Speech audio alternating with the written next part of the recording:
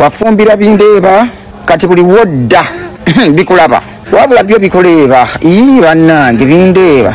Kati bikuleeba yize kaamu yize go maama yankuba busu maama namufuna ku sipiidi era yagenda ku sipiidi.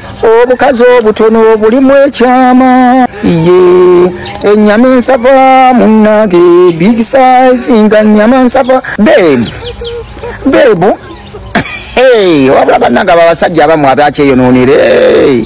omusajja ne mugende e- e- e- e- e- o- okukuwoowa n'omaliriza nga bamuyita beebu balala. Kiruma kyo kiruma.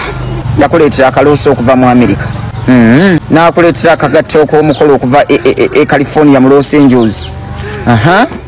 Mukwana abo abasajja bali fane ayina gwajja okushwera nga tamuwadde yadde akagatto yadde akaloosa kati gwe wef- we- weefuuyire kaloosa. Batawadde ka- kaloosa bali eri babebisa baswitiza.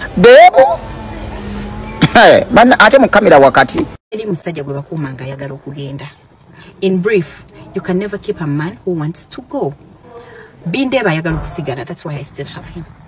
Gwali batuusiza okugenda sasaba mukuuma kakati mukazi munnange gwali eyo kola kyosobola do not go extra extra miles because you want to keep a man. Mm. tologa because you want to keep a man. To oba nkyogere ntya the best you can do to keep a man is maybe pray. Pray katonda mukuwemu ekirungi on a serious note you can never do anything to keep a man. These men we only keep men that want to be kept. Ah, omusajja tayagala mukuuma. Ne bwokola otya? Era tajja kumu tolina kyogenda kukola omukuumi. Kakati nze kyoba olaba. Owange the best i can do is pray for him katonda mupemu obulungi asigale abeere nga, nga simugoba bugobi i don't want to chase a man i want a man to chase me because i am a queen. Yes, I am a queen. It's a man to chase you, not you to chase your man.